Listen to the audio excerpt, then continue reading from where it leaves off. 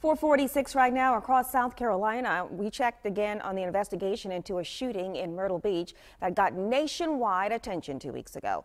A man pulled a gun and shot into a crowd of people on Ocean Boulevard, leaving seven people injured. Myrtle Beach police still will not release the suspect's name. They say they will release it when he is out of the hospital. He will face several charges once he's released, including attempted murder.